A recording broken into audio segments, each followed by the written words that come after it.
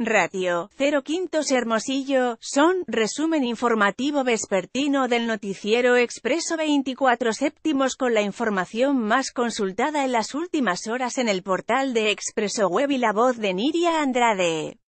Representantes de los partidos políticos que conforman la coalición, Juntos Haremos Historia, condenaron el asesinato de Carlos Munguía Estrella, exalcalde de Onabas, Sonora, y quien fuera esposo de la candidata a la alcaldía de dicho municipio, Ana Cecilia Navarro Chávez.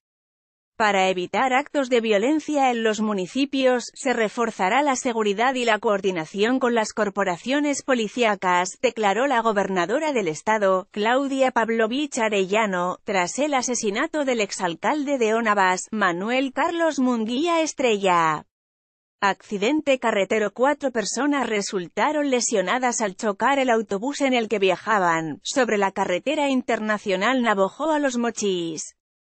Para reducir la obesidad entre la comunidad estudiantil, la Asociación Estatal de Padres de Familia, AEPAG, exhorta a los directivos de las escuelas, y a retirar a los vendedores ambulantes que se instalan afuera de los planteles.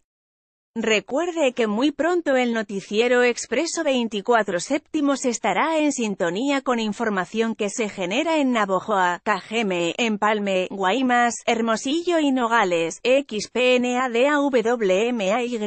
2018.